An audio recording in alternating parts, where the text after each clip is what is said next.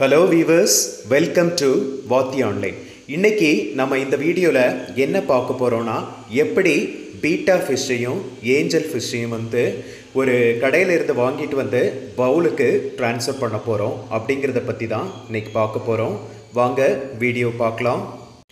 So இப்போ பாருங்கள் நான் நியர்பை ஃபிஷ் அக்யூரியத்துலேருந்து ஒரு ரெண்டு பவுல் வாங்கியிருக்கிறேன். ஒன்று வந்து பீட்டா ஃபிஷ்ஷுக்காக இன்னொன்று ஒரு பேர் ஆஃப் ஏஞ்சல் ஃபிஷ்ஷுக்காக இப்போது இதை வந்து அன்பாக்சிங் பண்ண போகிறேன் பாருங்கள்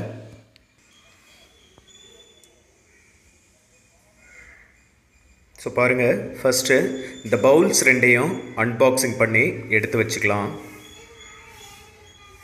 ஸோ என்னதான் நம்ம பெரிய சைஸ் ஃபிஷ் டேங்க்ஸ் விதவிதமான டெக்கரேட் பண்ணி பண்ணாலும் பவுலில் ஃபிஷ் வளர்க்குறதே ஒரு தனி அழகு தாங்க அதாவது மினிமலிசம் அப்படின்னு கேள்விப்பட்டிருப்பீங்க.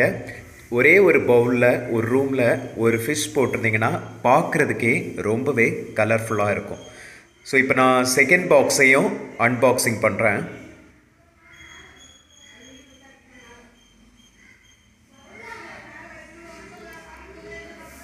ஸோ எடுத்தாச்சு.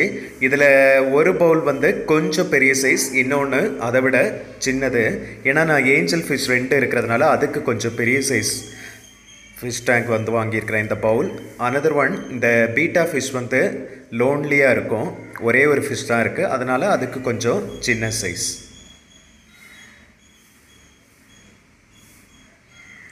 ஸோ எது எதுக்கு?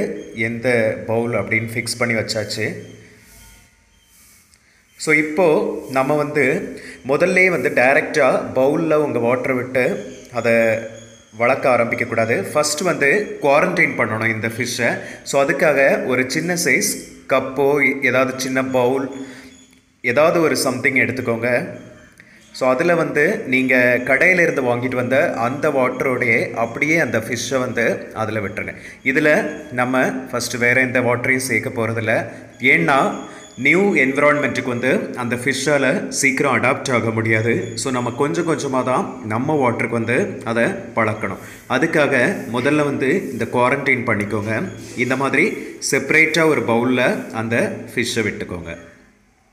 ஸோ இப்போ இதே மாதிரி அடுத்ததாக இந்த ஏஞ்சல் ஃபிக்ஸ் ஃபிஷ்ஷையும் வேறு இன்னொரு செட் ஆஃப் பாத்திரத்தில் வந்து விட போகிறேன் ஸோ இப்போ பாருங்கள் இதில் தண்ணி எதுவுமே எக்ஸ்ட்ராவாக ஆட் பண்ணல.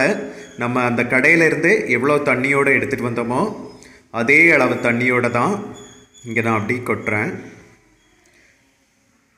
ஸோ கொஞ்சம் மெதுவாக இதை விடுங்க.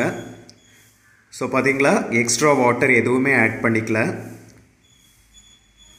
ஸோ அது அப்படியே இருக்கட்டும் ஃபிஷ்லாம் இப்போ மீன் டைம் நம்ம இந்த பவுலை ரெடி பண்ணலாம். நான் ஆல்ரெடி என்கிட்ட இருந்த இந்த ஒயிட் கலர் பெபிள்ஸை வந்து அதுக்குள்ளே டெக்கரேட்டிவ் பர்பஸ்க்காக அந்த பவுலில் போடுறேன். ஸோ ரொம்ப அதிகமாக போடாதீங்க. ஏன்னா உங்களுக்கு பவுலில் ஆல்ரெடி ஸ்பேஸ் குறைவாக தான் இருக்கும். நீங்கள் ரொம்ப இந்த ஸ்டோன் போட்டிங்கன்னா ஃபிஷ்ஷுக்கு வந்து நீந்திர ஸ்பேஸ் ரொம்ப கம்மியாக இருக்கும். இது நான் ஒயிட் கலர் போட்டிருக்கிறேன். நீங்கள் ஒயிட்டுக்கு பதிலாக வேறு ஏதாவது கலர்டு இது போட்டிங்கன்னா இன்னும் உங்களுக்கு பார்க்குறதுக்கு நல்லா இருக்கும்.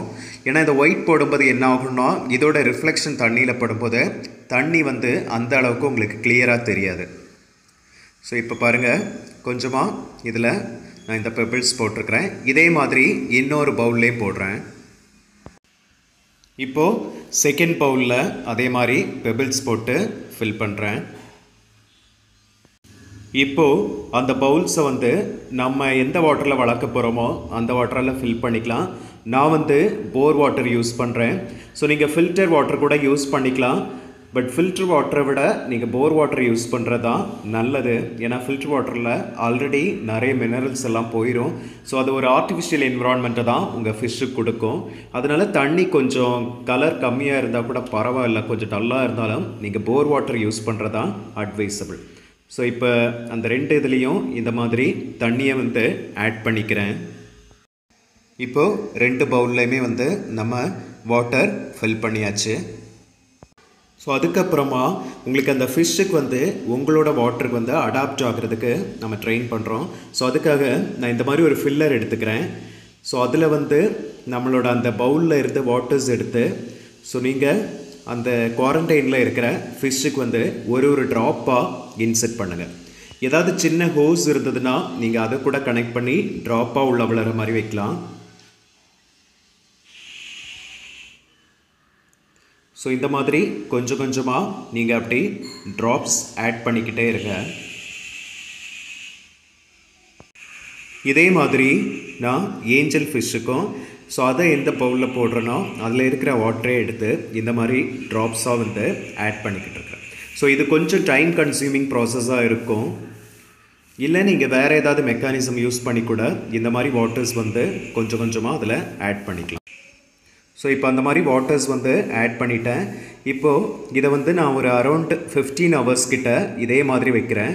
ஸோ இன்கேஸ் அந்த ஃபிஷ் ஜம்ப் ஆயிரும் அப்படிங்கிற மாதிரி நீங்கள் ஃபீல் பண்ணிங்கன்னா இந்த மாதிரி மேலே ஒரு மெஷ் ஏதாவது எடுத்து அதை கவர் பண்ணி வச்சுக்கலாம்.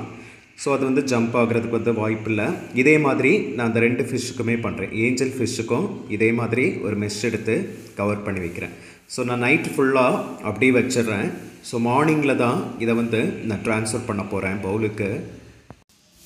இப்போது அரௌண்ட் ஃபிஃப்டீன் ஹவர்ஸ் ஆயிடுச்சு நான் அந்த மெஷ்ஷை எடுத்துகிட்டு இதை அப்படியே அதை அந்த பவுலில் கொட்டிட போகிறேன் ஸோ அப்போ தான் உங்களுக்கு அந்த வாட்டரும் உள்ளே போகும். ஆல்ரெடி இந்த இருக்கிற வாட்டர் ஸோ இது ஆல்ரெடி குவாரண்டைனில் இருந்ததுனால உங்களுக்கு இந்த வாட்டரில் வந்து ஈஸியாக அடாப்ட் ஆயிரும். ஸோ பாருங்கள் அதுக்கு வந்து எந்த ஒரு டேமேஜும் இல்லை.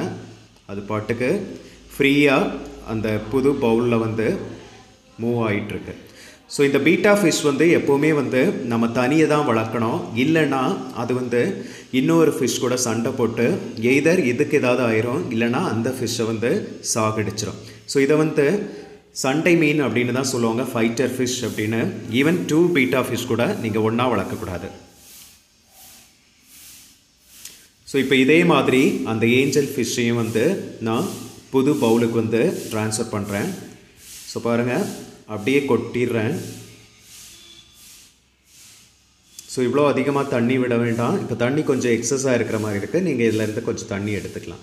ஸோ பாருங்கள் அதுவும் அடாப்ட் ஆயிடுச்சு ஸோ இந்த மாதிரி நீங்கள் குவாரண்டைன் பண்ணி நியூ வாட்டரை வந்து அதுக்கு அடாப்ட் பண்ணி எப்படி பவுலில் கொட்டினீங்கன்னா உங்களுக்கு அந்த ஃபிஷ்க்கு வந்து எந்த பாதிப்பும் இல்லாமல் அது பாட்டுக்கு வளர ஆரம்பிச்சிடும் ஸோ அதர்வைஸ் நிறைய பேர் வந்து இந்த மாதிரி காஸ்ட்லியாக ஃபிஷ் வாங்கிட்டு வரோம். ஆனால் நம்ம வீட்டில் விட்ட உடனே கொஞ்ச நேரத்துலேயே அது வந்து செத்துருது. இல்லை டூ த்ரீ டேஸில் வந்து செத்துருது. அந்த மாதிரி ஃபீல் பண்ணுவீங்க.